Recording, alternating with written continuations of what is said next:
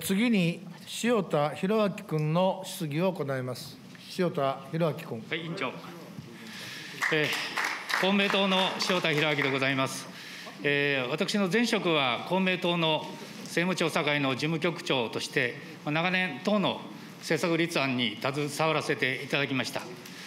まあ今回、えーコロナがまあ大変国民にまあ大きな国民生活に影響を及ぼしていることも考えてもですね、やはり政策はすごく大事であると、このように思いますし、まあ総理がいつも、えー言っておられるのはですね、国民の命と暮らしを守る、これがまさに大事だということで、えー我が党においてもですね、まさに国民の命と暮らしを守るために、しっかりこれからも取り組みを進めていきたい、まあこのように思います。そこで、今、あの杉議員からは、コロナに関するいろんな質問をしていただきましたので、私の方からそれ以外の課題について、質問をさせていただきたいと思います。一つは、ドクターヘリについてでございますけれども、ドクターヘリは我が国において、2001年に本格運航されまして、今年でちょうど20年の節目を迎えております。そういう中で、今、43、道府県、53機がですね、全国に飛んでおりますけれども、その中で、残り、あと東京都が2021年度に導入、そして福井県がまあ今年の6月頃には導入されるんじゃないか、そして、香川県についても2022年度、導入の予定というふうに伺っております。まあ京都府が滋賀県と刑事連携のですね、ドクターヘリを飛ばしておりますので、まあ、このことを含めますと、えー合わせて、えー47都道府県すべてに、まあ、ドクターヘリが飛ぶということがもう見えてきているわけでございます。まあ、そういう中で、えー例えば世界で一番最初にドクターヘリを飛ばしたドイツでありますけれども、50機まで、えードクターヘリを飛ばすまでに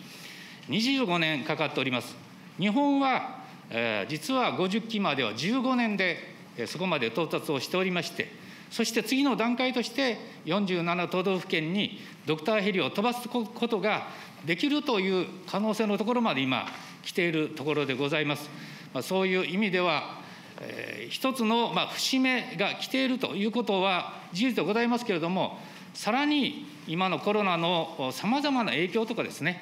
大きな災害がいつ起こるかわからない、いろんなことを考えますと、ますますドクターヘリの重要性が私は増しているのだと、まあ、このように思うんですね。まあ、そこで、えー、今日はちょっとパネルを用意いたしましたので、パネルを見ていただいて、少しご説明をさせていただきたいと、まあ、このように思います。あのこのパネルは、日本国医療学会がまとめた日本地図の中に、ちょうどあの53機のドクターヘリを落とし込んだものでございまして、それがこの赤丸になっていて、ここにまあドクターヘリが、基地病院があって、50キロ圏で円を描いたときに、今、こういう状態になっていて、例えば今、北海道を見ていただいたり、東北を見ていただいてもですね、結構まだ空間が空いてございます。でこのなぜ50キロ半径なのかっていうと、50キロで大体15分程度で、現現場にですね、ドクターが急行することができて、医療行為を始めることができる、まあ、非常に救命率を上げるために今、大事なところなんですね。で、ここをなんとか実現をしたいということで、さらにどういうところが必要なんだろうかと考えたときに、この青のですね、えー四角のマークがついておりますけれども、東京都とかも含めて、単純にこれで数えただけでも、まあ、プラスあと18箇所ぐらい必要であると、まあ、このように、えー日本国医療学会なんかも考えておるところでございまして、これを合わせると大体まあ70機は必要だろうというふうに思います。これが一つでございまして、もう一つはですね、やはり運営自体が都道府県が大体運行をしておりますので、まあ、かつてですね、やっぱり都道府県が運行しているということがあって、県境まで行って、自分の県じゃないからといって、突然引っ返してくるっていうですね、まあ、そういうことがあってはならないというふうにま思うわけですね。まあ、そういう意味では、えーいろんなその県境に近いところで救急現場が起こったときに、それに近いえー基地病院からそこにちゃんとドクターヘリが飛んでいく、まあ、そういう体制がやはり必要なんだと、私は思うんですね。そういう意味で、やはりそれぞれの県の間での広域連携をしっかり作っていくま、これがこれからのドクターヘリ、救急医療にとって、やはり重要で重要であると、私はまあそのように思います。えー、例えばですね、中国地方の5県で、相互恩相互応援協定っていうのをですね、まあ、結んでおりまして、これは例えばあこの県境なんかであったときにも、近い方に要請がすぐにできる、まあ、このようなあ要請を結んでおります。またあのドクターヘリ特別措置法においても、えー、県の間での公共連携の、まあ、協力をすでに謳っておりまして、まあ、そういう意味では、まあ、自分の県さえ良ければいいという自権主義じゃなくて、やっぱり生活生活権を優先にする、まあ、これが大事だと思うんですね。まあ、そういう部分で、えー、田村大臣、この日本地図を見ていただいても分かるようにですね、この各県間の、まあ、広域連携をしっかりさらに国としても後押しをしていただく、また70キロに向けてですね、70キロ、70機の配備に向けてもですね、まあ、しっかり国としても進めていただきたい、このように思います。いかがでしょうか？田村厚労大臣。あの塩田委員におかれましては、私も与党政策責任者会議のメンバーで長らくお世話になりまして、本当にいろいろとありがとうございました。あの今、ドクターヘリ、これ、公明党がもう長らくですね、ずっとこのドクターヘリを推進をですね、応援をされてきておるということ、私もあの議員連盟の一員でございますので、あの本当に、まあ、いろいろとお世話になっていることを改めて感謝を申し上げたいというふうに思います。まあ、脳血管疾患でありますとか、心疾患も本当に時間との勝負というような疾患に関しては、ドクターヘリというのは本当に大変な役割を大きく果たしていただくわけでありまして、そういう意味では、まあ、50キロという中においてですね、あのこれをなんとか空白の地域を埋めたいという思い、私も議連のメンバーとして、まあ、同じような思いを持っておるわけでありますけれども、あの予算としてはですね、えー、まあ、あの令和2年度の予算、えー、67億3000万からですね、えー、令和3年に向かって75億2000万というふうに、これ、あの予算を増やしながら対応させていただいております。あのまあ、導入でありますとか、まあ、運行の経費でありますとか、こういうものの支援でありますけれども、言われる通りですね、やはりあのどうしても県境というところは、まあ、お互いにですね、いろんな意味で、えどちらかという話が出てくるわけでありまして、そういう意味では共同運用でありますとか、総合応援、大変大きな、これは役割を果たすと思います。今、あの共同運用やられている県が7県、え総合応援をしている府県がですね、これが28府県だというふうに思っておりますが、あのここでやっておられます。まだそういうところ、今言われた通り、それぞれ協力し合うというところが必要でございますので、あのこういうものが横展開できるようにですね、しっかりと国と国の方も応援をしてまいりたいというふうに思います。70期に向かってということでございますから、しっかり予算をまた確保していかなきゃならんわけでありますけれども、我々もこの必要性というものをしっかり認識しながら、これからも頑張ってまいりたいというふうに思っております。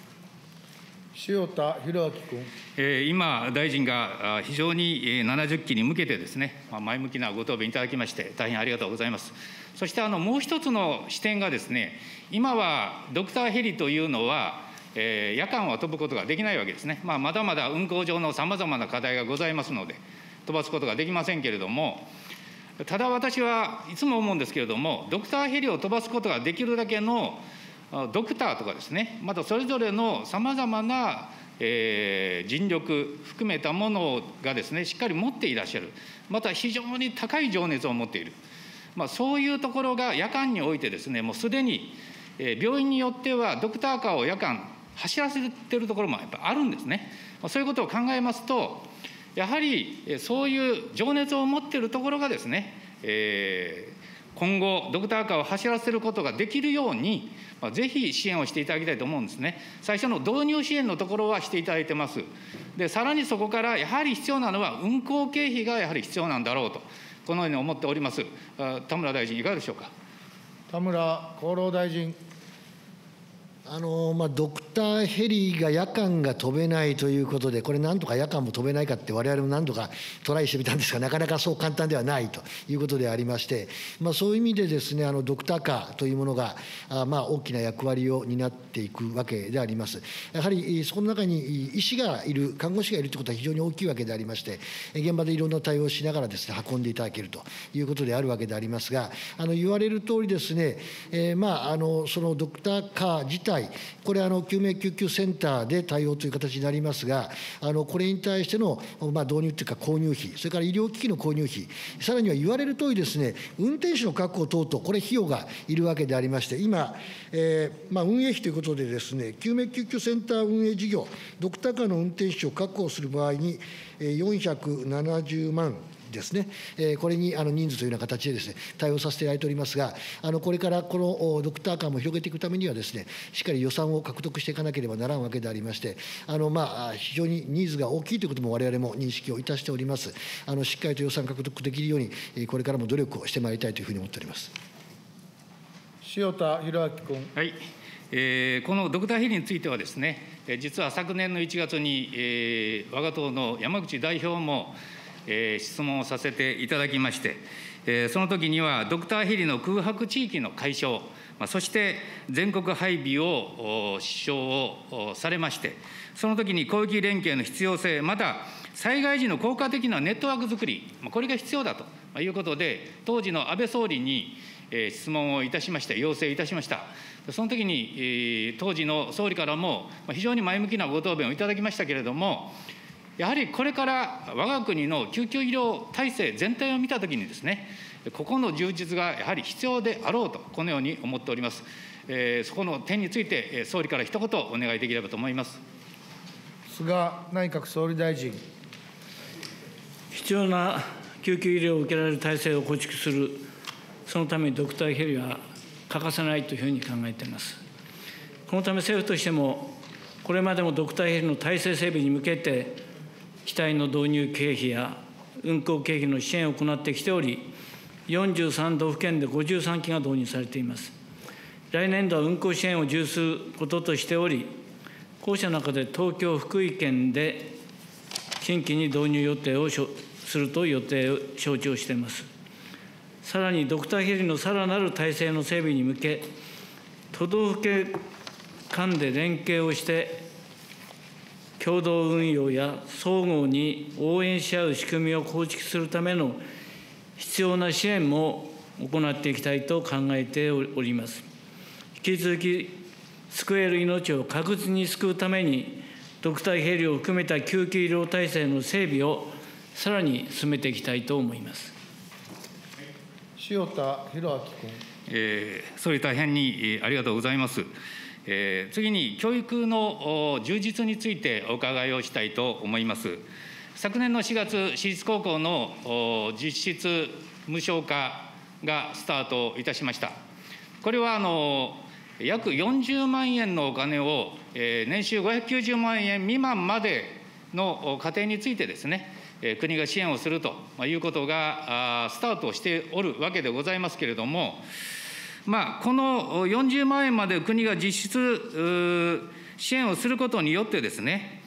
それぞれ実はそれまでの自治体がさまざまな支援をしていたものが、逆にその予算が浮くのではないかということで、その分でさらに横出しをしたり、上積みをしてもらったりっていうことをですね、ぜひお願いしたいっていうのが、国の考えでもございまして、これは昨年の3月31日に文部科学省が都道府県に対する通知でこのように言ってるんですけれども、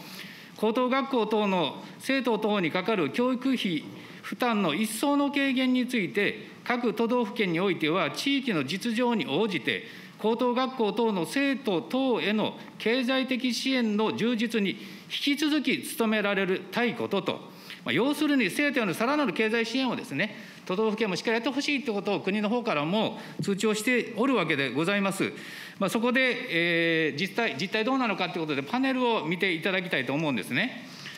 でこのパネルを見ていただきますと、現状どうなっているかって言いますと、国が590万円まで支援しましたが、県が独自で国以外の支援をしていないのが14件ございます。一番上のところに書いてありますけれども、そして、低所得層、年収590万円までに独自支援を実施しているのが7道県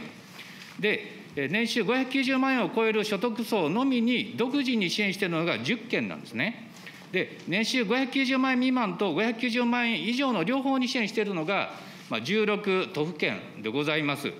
やはりすごく頑張っている県と、まあ、そうでない県との大きな地域格差が実は生じてございます。例えば A 県の例を見ていただきますとですね、A 県の場合は、年収590万円まで国が見ています。ただ、これは国の支援だけの件でございますので、590万円を超えて、例えば年収600万円の人のところは、もう40万円の国の支援ががくっと落ちてですね、11万8800円になってしまうわけですね。そうすると、家計的には大変、支出が大変になってしまう。そしてこの A 県の場合ですね、緑のラインがございますけれども、ここが要するにその県における県内の授業料平均額でございまして、590万円までについても、そこまでもやはり届いていない、こういう県がございます。そして B 県の場合はですね、例えば年収270万円までについては、国の約40万円にプラスして51万3000円まで上乗せをしています。また、270万円から350万円については、45万3600万円、600円まで上乗せをしている。で、590万円から700万円までのところについても、590万円と同レベルのところで横に横出しをしていただいておりまして、今後さらに700万から750万についても、えー、さらに上積みをしたい、このようなことも考えていてですね、会談上に手厚く、こういうふうに支援をされている国もございます。まそういう意味ではえ、教育を受けるチャンスにおいて、地域格差がやはりあっては本当はならないというふうに思います。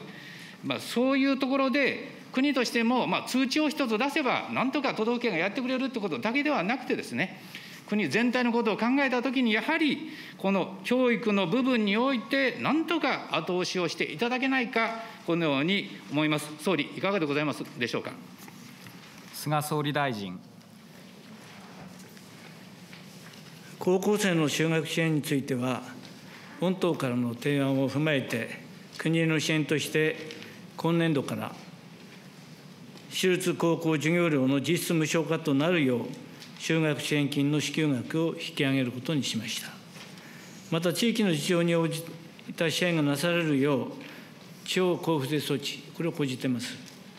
これらも活用し、半数以上の各都府県では年収590万以上の世帯の生徒に対しても支援が行われており、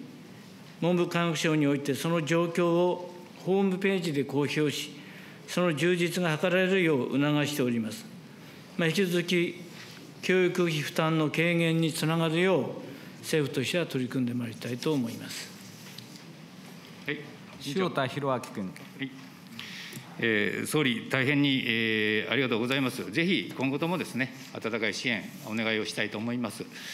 えー、次に、最後にあのパネル資料3を見ていただきたいんでございますが、まあ、今と同じあの就学支援のところなんですが、実はあの子どもが1人の家庭と多子世帯の場合、えー、実は昨年の7月に新しい基準を設けていただいてですね、かなりの部分で子どもの数に応じた年収の判定基準は変えていただいている、このことは私も十分承知をしております。ただ、例えばですね、子どもが1人の場合に、今の約40万円の国からの支援が、年収590万円まで見ていただいておりますけれども、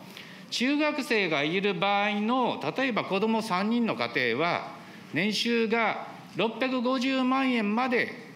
を見ると、まあ、このような規定になってございます。子どもが1人の場合と3人の場合、その方の世帯のですね、年収の差がまあ60万円ということで、やはり、えー、かなりですね、家計においても、中学生でも私立高校に行かれてる場合、私立中学に行かれてる場合もございますので、まあ、大変なところもあるというふうに思います。まあ、そういう意味においてですね、やはり子ども産み育てたいと思えるような国をなんとか作りたい、まあ、このように国の方でも言ってるわけでございますので、ぜひそこにおいてですね、何らかの支援をご検討いただけないか、このように思っております。鰐淵大臣政務官、いかがでしょうか？鰐淵文科大臣政務官。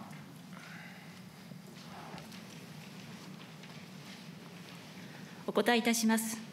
高等学校等就学支援金の対象者や加算額適用の判定にあたりましては、個人住民税の扶養控除額等を加味した課税標準額を基準として判断しており、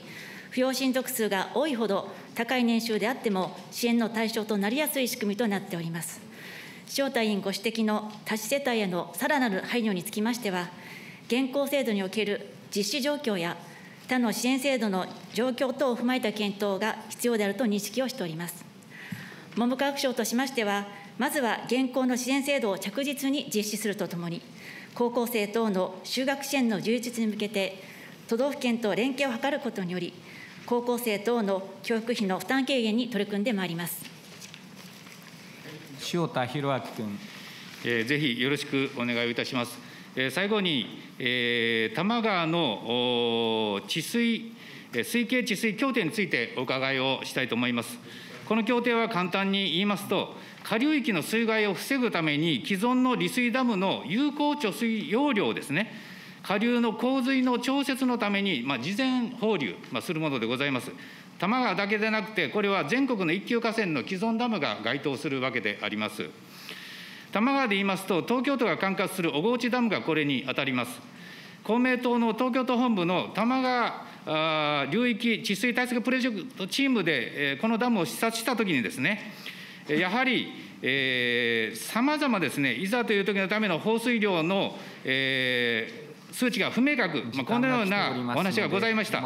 ダムごとに具体的かつ科学的根拠に基づく放水量を定めるべきと考えます。国交大臣、見解を最後にお伺いいたします。赤羽国交大臣、時間が来ておりますので、簡潔にお願いいたします。あの事前放流を含め洪水調節を安全に運用していくためには、委員ご指摘のとおり、科学的データに基づいた運用を行う必要がございます。国交省としても、治水協定締結以降ですね、大規模洪水工事のダムの放流量と、水位の変化等の実際の基礎データを集約して分析をし、水系全体で確実に効果的なダム運用ができるようにしてまいると、そういう方向で進んでおります。はい、すみません、以上で終わります。ありがとうございました。以上で塩田博明君の質疑は終了いたしました。